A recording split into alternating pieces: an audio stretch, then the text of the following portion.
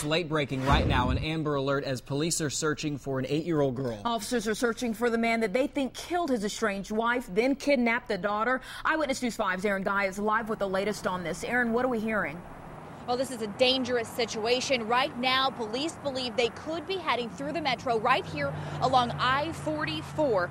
Now, I just talked to Oklahoma County. No spottings in the metro at this time. Now, this all started in Geronimo. Police say Lester Hobbs shot and killed his estranged wife, then kidnapped her daughter, eight year old Asia Johnson. Now, here's what we know about her. Police say she has brown hair, brown eyes, she's bipolar, and is in need of her medication this morning.